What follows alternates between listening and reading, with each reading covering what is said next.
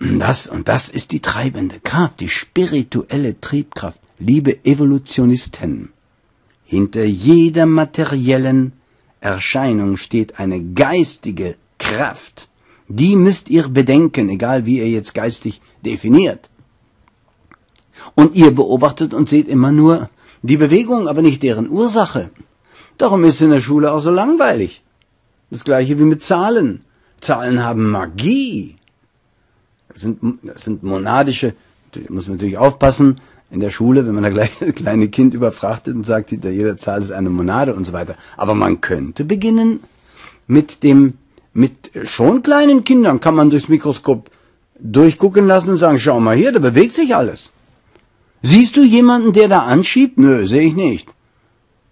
Aber es muss doch jemand da sein, oder? So kann man mit Kindern diskutieren, versteht ihr? Und kann sie selber auf die Antworten bringen. Siehst du, mein Kind, da gibt es mehr als nur das, was du siehst. Und über dieses Mehr erfahren wir unter anderem durch die Lehre und natürlich dann auch in der Meditation, ja, stellen wir fest, dass wir eben, das hatte ich vorher schon erwähnt, keine, kein Stein sind, keine Pflanze, kein Tier, aber auch kein Mensch. Wir sind doch nicht der menschliche Körper, weil wenn wir in der Meditation alles abschalten, was so dem menschlichen Körper denn eigen ist, sind wir immer noch da. Also immer empirisch die Sache betrachten und weitergeben. So, und da habe ich gesagt, dass der Individualisierungsprozess bei den Pflanzen äh, langsam ist. Ja? Beziehungsweise, muss mich korrigieren, bei den Mineralien ist er sehr, sehr, sehr langsam. Beim Pflanzen auch, aber etwas etwas mehr, etwas schneller. Da findet ein Individualisierungsprozess wirklich statt. Bei den Pflanzen fängt er an, entwickelt sich weiter in den Tieren und dann hin bis zum Menschen. Ja? Wobei man dann natürlich sagen muss, meine Lieben, äh, man empfindet äh, zum Beispiel, oh je, jetzt bin ich gewagt. Also die Monade im, im, im Mineral, äh, die äh, hat ja nichts anderes, die klammert sich in diesen ersten Bewusstseinszustand daran, sie will ja da bleiben, sie will, sie will irgendwas ausdrücken, sie weiß es selber nicht, und andere klammern sich auch. Aber später wird man ja auch getrennt. Wir erleben ja hier das Gefühl der Getrenntheit. Hier bin ich, da bist du.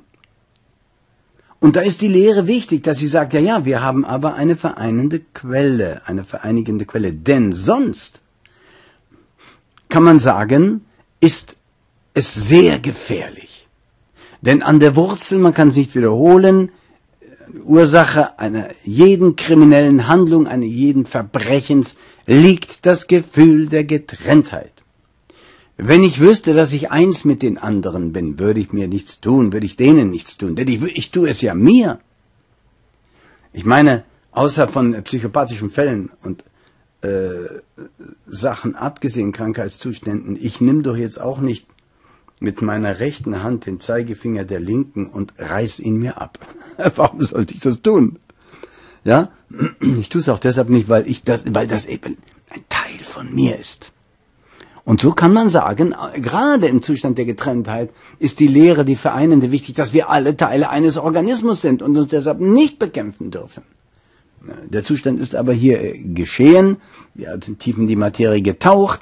Und je tiefer man taucht in die Materie, umso tiefer ist das Gefühl der Getrenntheit. Und wir haben diesen irren Zustand heute in der Welt, dass sich, wenn man getrennt ist und wenn man dieses Gefühl der Getrenntheit empfindet, dann sieht man im anderen plötzlich den Gegner. So haben sich ja die Menschen auf Erden dann verbreitet. Das ist der wahre Fall der Menschen. Und haben einander die Kontinente geklaut, ja. Amerikaner haben es den Indianern geklaut und den Mexikanern und sagen jetzt einfach auf dieser Basis, ja, das gehört jetzt uns. Wo ist die rechtliche Grundlage? Ich meine, die meisten Strukturen und Kontinente auf Erden und so weiter haben auf überhaupt keiner rechtlichen Basis, nur auf diesem Begriff die Macht des Stärkeren. Diese falsche Lehre, die auch von Darwinismus verbreitet wurde, das Karma, Karma ist dann der Lehrer und sagt, nein, ihr irrt, ihr Lieben. Und durch Leiden indem wir anderen wehtun, tun wir uns weh. Das ist das Gesetz von Karma und Reinkarnation. Weil das würde gar nicht wirken, meine Lieben, wenn wir nicht ein Organismus wären. Aber wenn ich jemand anderem etwas tue, habe ich es automatisch mir getan. In dem Moment. Gewaltig, dieses Gesetz. Kann man den Kindern doch nicht früh genug beibringen. Wir, oder ich zum Beispiel, ich bin nicht mehr lange da, ja. Ich werde vielleicht, weiß nicht, wie ich wiederkomme, vielleicht, ja. Ich glaube, ich würde gern wiederkommen, nochmal die Lehre weiter verbreiten, denn wir sehen doch, was geschieht. Wenn wir dieses Wissen nicht verbreiten, schaut euch doch mal um. Ja? So, also wir waren beim Individualisierungsprozess der Pflanzen. Der entwickelt sich dann weiter, Tier und dann Menschen, ja? Aber, aber, meine Lieben, sehr wichtig, wenn euch jemand fragt, gehen die organischen Formen dann ineinander über? Ja, das wäre Darwin. Der sagt, die Formen gehen übereinander über. Ein Stein wird eine Pflanze, wird ein Tier, wird ein Mensch sozusagen. Ja, wie denn? Wie soll denn das gehen? Und da haben doch dann ganz klar auch wiederum sogar Materialisten müssten doch dann sagen, wie bitte? Zeigen Sie mir mal einen Stein, der zur Pflanze wird. Ja, wird Darwin sagen, durch die Millionen von Jahren. Gut, dann will ich die Zwischenstufen sehen. Dann zeigt mir die Zwischenstufen zwischen Stein, Pflanze, Tier, Mensch. Gibt es nicht. Gibt es nicht. Da kann man noch so lange nach einem Übergangsstufe von Affe zum Menschen suchen. Man wird ihn nicht finden. Weil man ganz falsch sucht übrigens. Wenn schon, dann vom Mensch zum Affen. Denn der Affe stammt ja vom Menschen ab. Ja? Und da wissen wir dann, ja, diese Stufe wäre dann Sex von Mensch und Tier, zwischen Mensch und Tierformen. Ja? Da könnte man sagen, das ist die Zwischenstufe vom Menschen zum Affen, ja. Aber ansonsten kann man sagen, dass nicht die organischen Formen ineinander übergehen, sondern die ihnen innewohnenden Monaden sind es, die eine Form nach der anderen benutzen, entsprechend dem Lauf der Evolution. Meine Lieben, ganz wichtig, dieser Vorgang sich nochmal. Ich weiß, ich äh, hoffe, ich langweile euch nicht mit diesen Wiederholungen, aber das ist ganz wichtig.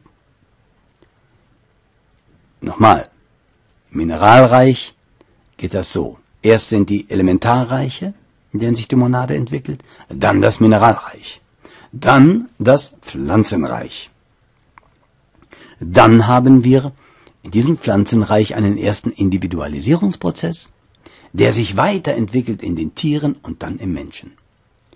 Aber immer beachten, nicht die organischen Formen gehen ineinander über. Die Reiche sind getrennt, sondern das ist, sondern es sind die ihnen innewohnenden Monaden.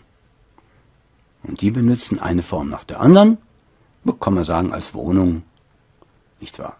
Entsprechend im Stand der Evolution. Wenn ihr lieben Evolutionisten das so betrachten würdet, dann kann man eure Forschungen ja auch benutzen.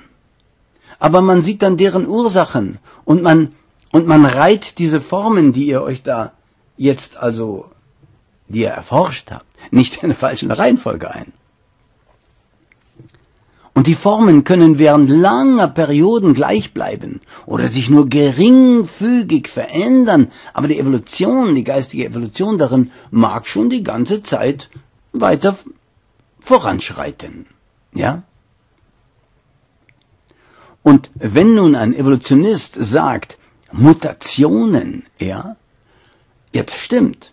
Von Pflanzen oder Tieren treten plötzlich manchmal neue äh, Kombinationen, Mutationen auf. Das, warum ist das so? Was sagt ein Wissenschaftler über Mutationen? Das ist der Drang der Monade, sagt nicht der Wissenschaftler, sagen wir. Das ist die ganz sichtbare Wirkung. Ein, ein monadischer Drang, meine Lieben, dass diese Monade nach einem anderen veränderten Körper verlangt. Und so entsteht die Mutation und das bringt sie zum Ausdruck.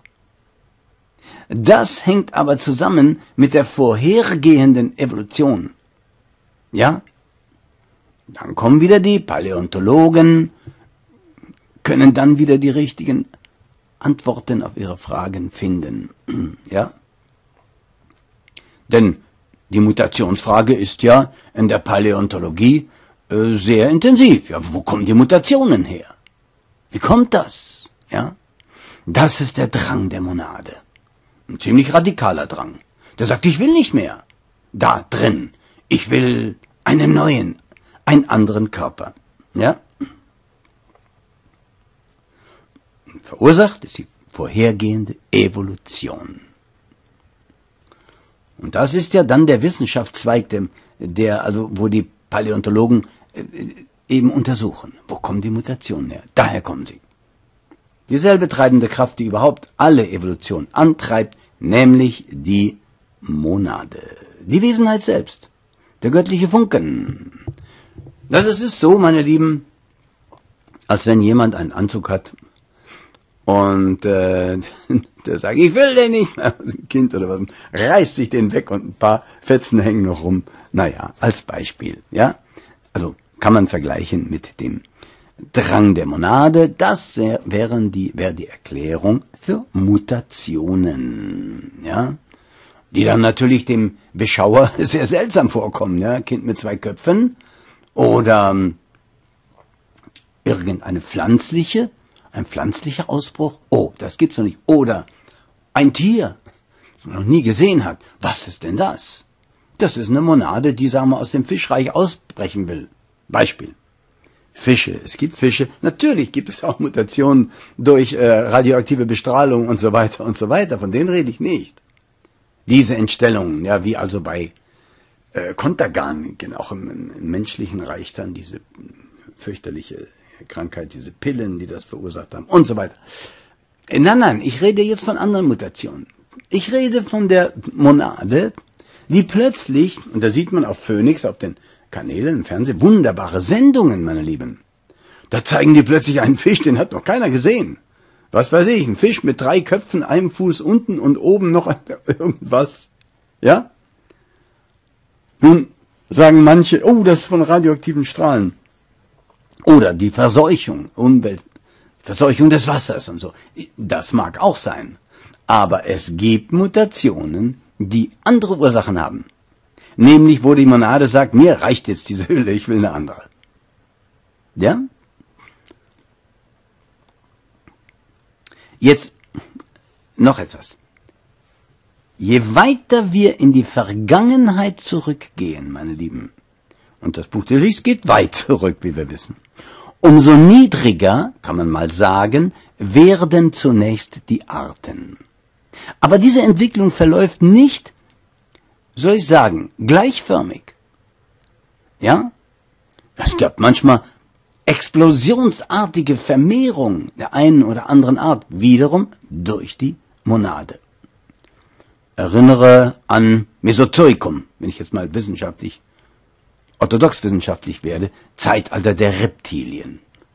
Das war eine gewaltige Entwicklung. Riesenkörper, Dinosaurier, ja. Ganze Filme wurden gedreht drüber. Wenn die nur wüssten, wo die wahre Ursache, alles, das sind alles Absonderungen des Menschen, die sich dann, die monadisch vorangetrieben wurden, ja. Aber schauen wir mal diese Entwicklung uns an. Das waren Riesenkörper. Und später wurden die immer kleiner. Man könnte sagen, eine Eidechse von heute war so ein Riesenmonster von damals, ja? Ein Riesenreptil oder Dinosaurier von damals, eidechsenförmig vielleicht. Also, da war eine Entwicklung, die dann immer kleiner wurde, ja?